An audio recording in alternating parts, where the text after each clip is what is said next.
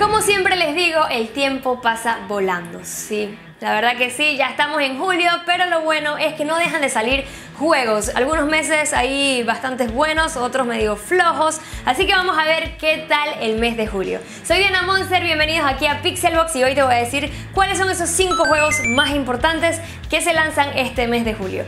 Vamos a empezar el 10 de julio en donde sale el juego Shining Resonance Refrain es un juego de acción RPG y seguramente si tú eres un gamer veterano te acordarás de la serie Shining Force para los tiempos de Mega Drive.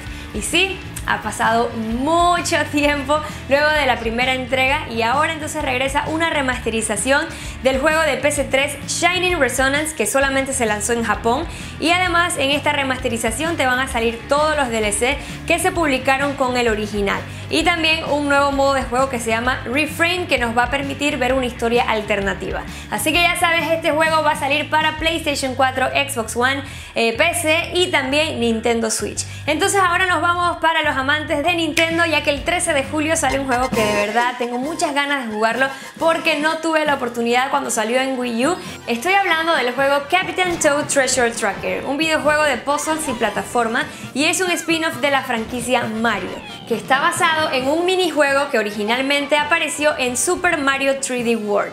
Va a estar disponible para 3DS y también para Nintendo Switch. Y este mismo día también va a salir un juego que se llama Earthfall. Es un shooter en primera persona de supervivencia cooperativo que va a llegar para Xbox One, PC4 y PC.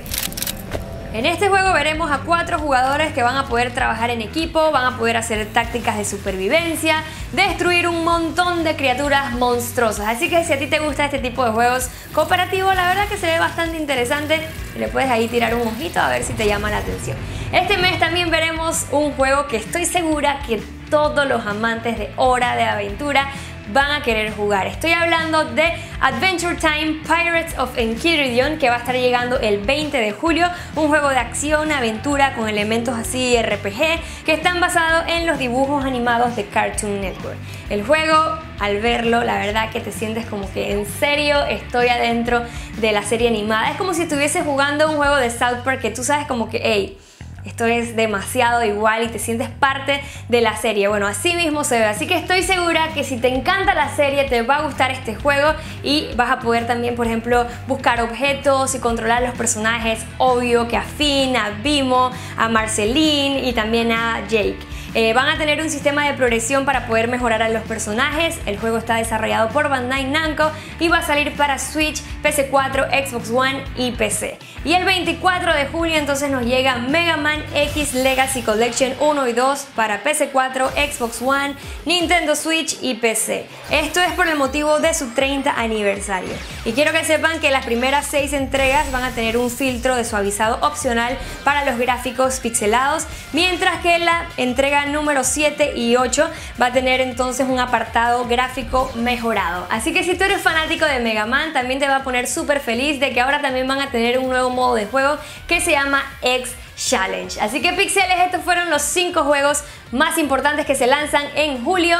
Ya sabes, ya te dije cuál es el que yo estoy esperando, que seguramente les voy a hacer stream en mi Facebook, me pueden buscar como Diana Monster, así que yo quiero leerlos a ustedes, quiero que ustedes me digan cuáles son los juegos que están esperando este mes. No importa si no salen este top, hay otros juegos que también se lanzan este mes, pero para nosotros estos fueron como los más, los más tops. Así que quiero leerlos a todos, dejarle corazoncito y todo lo demás. Recuerda apoyarnos con el like, compartiendo también el video si quieres tallar a algún amigo y todo lo demás. Y por supuesto, siempre pendientes a todo el contenido que te dejamos aquí en Pixelbox. Me despido de ustedes, les mando un besito y nos vemos entonces en la próxima.